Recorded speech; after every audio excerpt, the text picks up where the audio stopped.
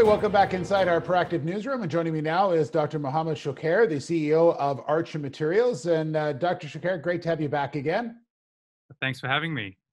So, lots to talk about. Um, a very significant news release out today from the company, really sort of outlining what the next six months is going to look like for the company. And, and interesting that, enough, you're talking about doing more measurements. And I want to specifically talk about this because we had a, a, chat a couple of weeks ago about you had done other measurements. So I'm sure people are wondering, well, how many how many more times do you have to measure to get it right? And the, the term is measure twice, cut once. In quantum, it's a little bit different. So maybe you could explain the measurement part for us and, and what these new measurements will be doing. Absolutely. So yes, in quantum computing, it's all about the measurement. Uh, there is no hiding that fact. Uh, the the measurements. I mean, when, when we first came out this year, back in January, uh, we did say that the focus is going to be on measurements moving forward, and that is absolutely critical in in building this uh, qubit processor. And so the measurements that we are uh, talking about now directly relate to the operation of the chip. Up until now, the measurements that we've been doing have been around the fabrication of the chip, the assembly of the qubit components, very early stage. Uh, but now, over the next six months, we'll be focused uh, on the measurements that really um, are, are a, a, major uh, technical milestone, I would say, uh, once achieved uh, in the operation of, of the qubit processor. So maybe you can explain to us how this how this is going to happen and and who's going to be doing all of this.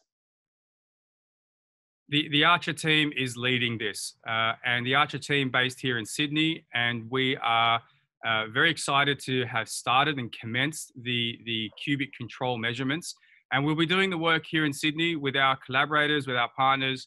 Uh, we'll be accessing world-class facilities here in here in Sydney. That includes semiconductor foundries, includes laboratories that are specialty built for these kinds of measurements. And of course, we've done a lot of the work uh, to get to this point. So a lot of the pre-planning, you're right, the measure twice, cut once. Uh, a lot of the pre-planning, a lot of the strategy. Uh, we've we've brought the instruments in from the US. Uh, we've built some of the instruments ourselves here, and we'll be building the testbed chips here ourselves.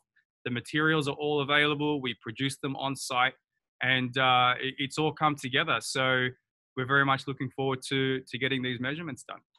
So let me ask you this question, and I'm sure you'll probably get this from shareholders as well.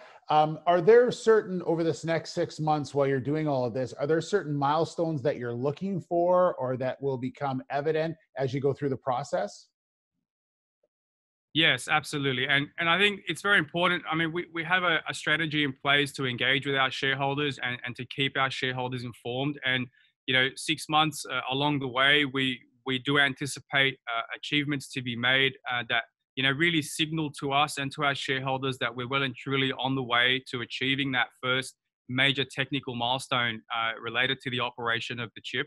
And so we will release this information to market once it becomes available, and, and we're really looking forward to doing that.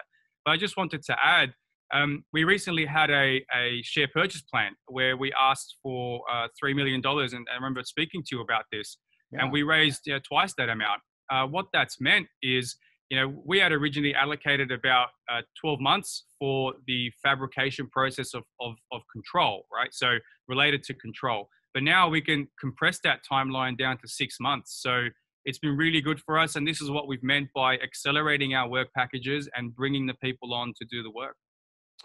Uh, Mohammad, I want to ask you one last question, and that is, um, you know, you're you're someone who who works daily in the in the world of science, and and science uh, can sometimes be a, a slow, agonizing process.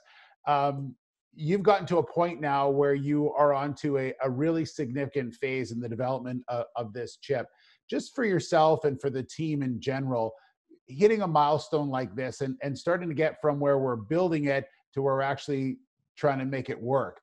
How does that make you feel? And, and especially as a leader of a, a really a bright and smart team?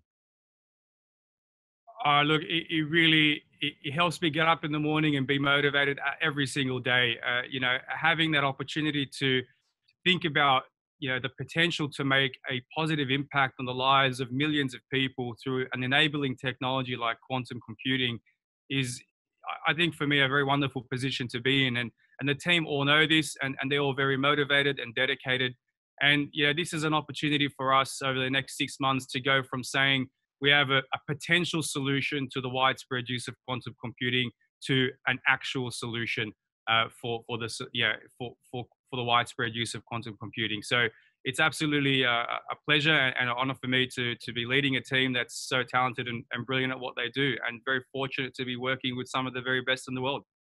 Well, it's exciting to hear what's going to happen over the next six months. We look forward to sharing that story with uh, with the world. Great to see you again. Uh, we'll talk again very soon, I'm sure. No worries. Thanks for having me. Have a good day. All right, Dr. Mohammad Choucair, the CEO of Archer Materials.